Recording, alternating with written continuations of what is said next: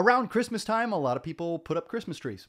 Some people refuse to do that because they say that it is a pagan symbol, and there's some some reason for that. Trees were pagan symbols. What's interesting is that the Christmas tree has become a symbol that Christians have claimed. Uh, in the church, we have this character called Boniface, and Boniface is trying to address these uh, Germanic cultures of his day. And so he actually chops down this huge oak tree that they would use to worship Thor, and he turns the wood into a church.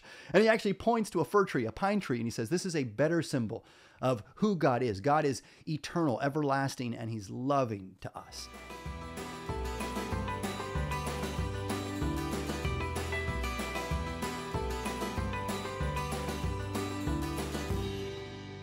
So, however you feel about Christmas trees, what's interesting is that that picture of Jesus as a tree starts in the Old Testament. Isaiah 11. A shoot will come up from the stump of Jesse, and from his roots a branch will bear fruit. Jeremiah 23 The days are coming, declares the Lord, when I will raise up for David a righteous branch, a king who will reign wisely and do what is right and just in the land. Now, you might think that this is just an Old Testament picture, but Jesus actually claims this for himself. In Revelation, he says, I, Jesus, I am the root and the offspring of David and the bright morning star. So let's break that down. Stump of Jesse. What does that mean? Well, Jesse was the father of David. So a shoot coming out of the stump means new life, or it's another way of saying offspring. So David is the shoot from Jesse. Jesus, by extension, is the shoot coming from David, coming from the stump of Jesse. Now, why is it a stump? Well, this tree is always a picture of Israel, too. And so the reason it's a stump is that it was cut off. We see that in the Old Testament, right? Israel does not obey God and so they are cut off and dispersed. The shoot is a symbol of new life that God is bringing out of the old. So Jesus is the shoot coming up out of the stump of Jesse. What's interesting is that Jeremiah connects this to kingship. We've already read a righteous branch, a king will who will reign wisely. In other words, Jesus is a Messiah who will be wise, just, and do what is right for the people, and he will give them his shalom, his wholeness, his peace. Now, in this Old Testament context, you might think that this was only for the Jews. Well, some of the Jews actually thought that too.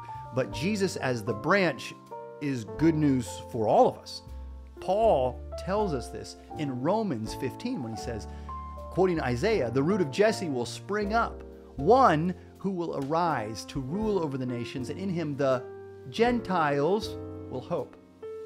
So, in case you're wondering if this Gentile, Gentile thing was a, a new idea, no, this also goes back to Isaiah in, again, chapter 11.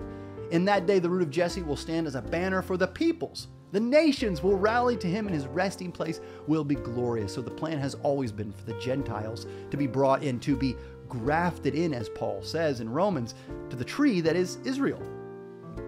And it extends to Jesus too.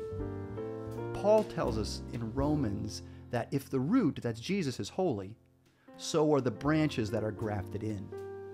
So if Jesus is holy, we are called to be holy too.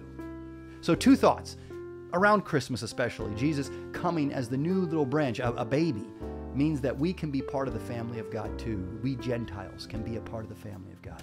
Secondly, we are called to seek God, to dwell with God, to abide with God. Jesus came to be with us. We are called to abide in him. This season, I love the carol, O come, O come, Emmanuel. It says, O come to us, abide with us, our Lord, Emmanuel. Come to us, abide with us as we abide in you, God. Because he is the tree.